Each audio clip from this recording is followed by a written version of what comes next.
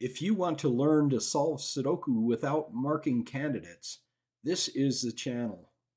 I use a pen and don't take any notes while solving puzzles. You can also learn patterns and techniques to solve Sudoku puzzles without candidates at sudokuprimer.com. You can find lots of other Sudoku information out there like Sudoku myths and history, and you can download free blank Sudoku grids there. There's even a Wordoku where you can choose your own letters and phrases, phrases and it will build puzzles for you. So go check it out there. There's a lot out there, a lot of Sudoku stuff out there. This is puzzle number 87 from Sudoku to Go, volume 147.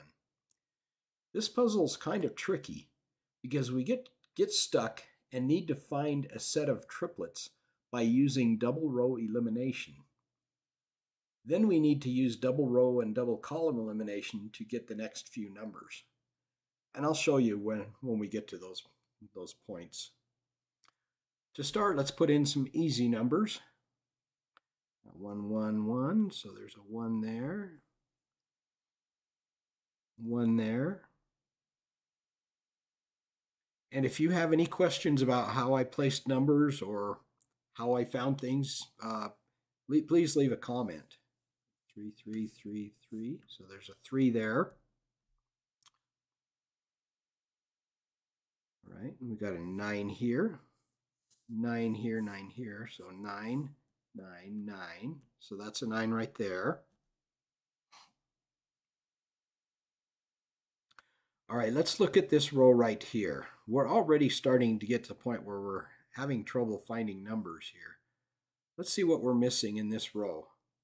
3, 4, 5, 6, 7. All right, look at look at this cell right here. We got a three, four, five, six. So that's a seven. And now we have four, five, six, three, four, five, four, five, six, three, five. So we can't do anything else with that row. All right, let's look at this column. We're missing one, two, 8, 9. We've got a 1 and a 9 here, so that's a 2 or an 8.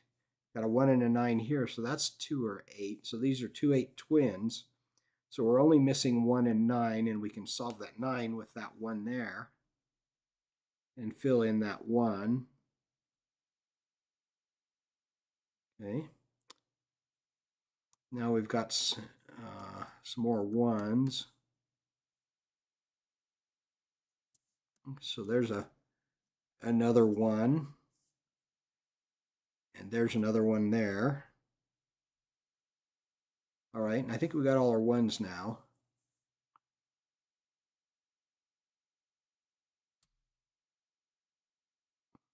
Okay, let's see. Now we've got a, uh, a 999, so that's a 9 right there. 9 right there. 9, 9, 9. So that's a 9. And we've got a 9 here, 9, 9. So there's a 9 right there. And at this point, get pretty stuck. I mentioned at the beginning we found some triplets using um, using double row elimination. And uh, let me show you that here. We've got a 5 and an 8 here in this row and a 5 and an 8 in this column. So we've got 5, one of these is a 5, one of these is an 8. But we need one more number to have triplets. Um, and I'm going to show you what that other number is, but if you want to pause the video for a second and see if you can find it yourself, go ahead and do that. Otherwise, I'll continue on. We've got a 2 here, 2 here, so one of these is a 2. And we're missing 2, 6, and 7 here. So 2, 2, and using double row elimination, we know 2 has to go here or here. So now we have 2, 5, 8. And the only two numbers left are 6 and 7 here. Okay, so now we know the 258 triplets here and 6, 7 twins, but we still can't find any numbers yet. Now we need to use double column elimination to find the next number. We've got a 7 here and here, here or here, and a 7 goes in one of these. Got a 7 here, so that can't be a 7. Using double column elimination, we've eliminated these two columns for these two boxes, and so the 7 has to be in this column for this box, and there's a 7 there already, so we know that that is a 7. All right, and now let's use let's use that technique again. We have 267 here and 6, 7 here. So we have 7, 7, 7. Use double row elimination to find that one of these is a 7, and that 7, there's a 7 there, so we know that's a 7. And then we have 7, 7, 7, so that's a 7 right there. And 7. We can't solve that one yet. Okay, so we've used double row and double column elimination a few times already here to find numbers. All right, now let's look at, um, we've got a 3 here and a 3 here. I've got a 3 here also, so we have a 3 here and ghost 3s here. So we know that has to be a 3. All right, and with that 3, got 3 here, 3, 3, so we can put a 3 there. And that makes that a 3.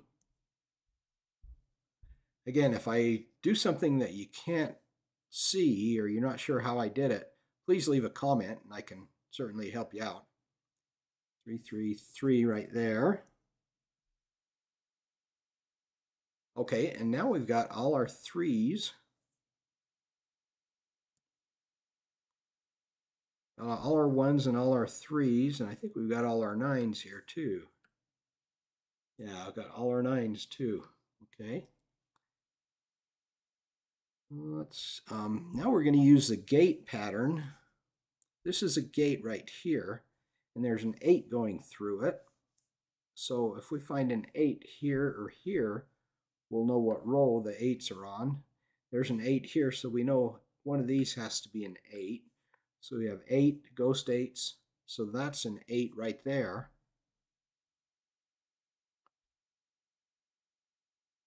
All right, and now we've got, let's see, what are we missing here? We're missing 4, 5, 6, 4, 5, and 6. Well, look at this. We got a 6 here and a 6 here. So that's a 6 right there. And we've got a 5 there, so we know that's a 4 and that's a 5. All right.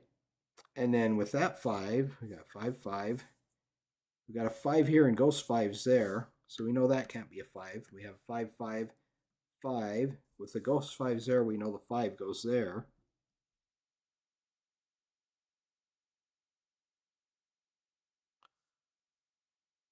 All right, now we've we're missing two and eight here.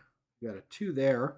We also knew that had to be a two because of the two, two double row elimination. The two had to be here or here. So we know that's a two, and that's an eight. We also saw that two there, so we knew that would be an eight there. All right, now we're only missing two and four in this box, and we can fill those in. And now in, in this column, we're only missing five, seven, eight, five and eight, eight there, so we can fill those in. All right, we're only missing uh, four there. We can complete that. And we're missing a four there, only number left in that box, and a four there because of that 4. Now we're only missing 2, 5, 7 there. Let's see, got two there, so that's a two. A seven there, so five and seven to complete that box. We're only missing three numbers here. A two there, a five there, and an eight there. That leaves a two here, because remember our two eight twins we had there. And now we have six and eight left here. There's an eight there, so we can complete those.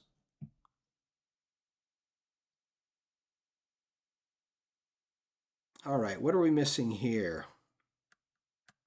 Five, six, seven, eight. Five, six, seven, and eight. Well, this has to be an eight because of that eight right there. And we've only got one number left here, and that's a 5. So we have 6 and 7 there. We can't solve those yet. Let's see. We've got a 2 right there, because we have 2, 2, and 2 there. So that's a 2. Let's see. We've got an 8 there. And let's see two. Let's see what we're missing in this box. Two, six, two and six. We can fill those in. And what's this one right here? A five. Now we've got six and seven left. Six, seven, six, seven, six, seven. There's a seven, so we can finish all of those. And that's it. All right. Well, if you remember, we uh, when we got stuck, we were able to find the 258 triplets here because of the uh, double column or double row elimination here. Two, two, two. So we had two, five, eight. And then we knew these were six and seven. Using double column elimination, we found that seven using double row elimination, we found that seven. And uh, then uh, from then on, it was pretty easy. Well, thank you for watching.